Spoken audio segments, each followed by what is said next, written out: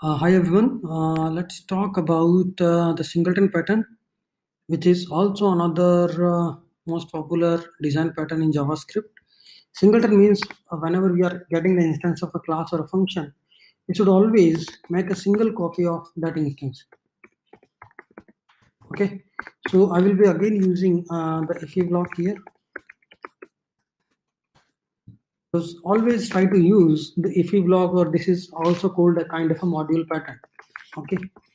So I have an instance which I will be returning from here.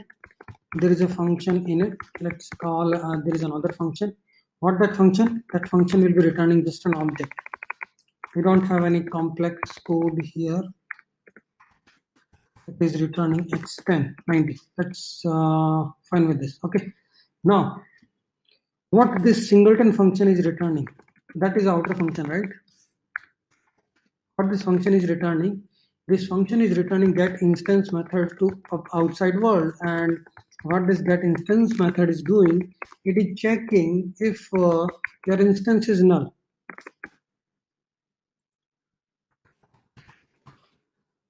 If your instance is let's say null then only get the new instance instance equal to we just need to call the init method and we got the new instance and return that instance. Okay this is plain and simple.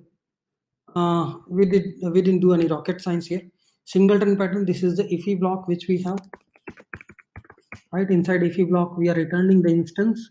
We have the init method. This might be having some other other way of returning an object instead of uh, doing this in the simple way then this IIFE block singleton, what it is doing, singleton dot get instance I will be calling.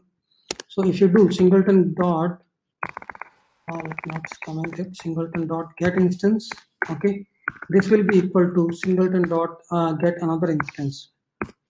So it will return the same instance. And if you just do the console.log, it will come as a true.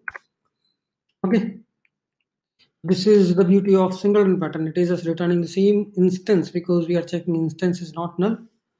Then only call the init function again and return the new object. Okay. This is about the singleton. Thanks.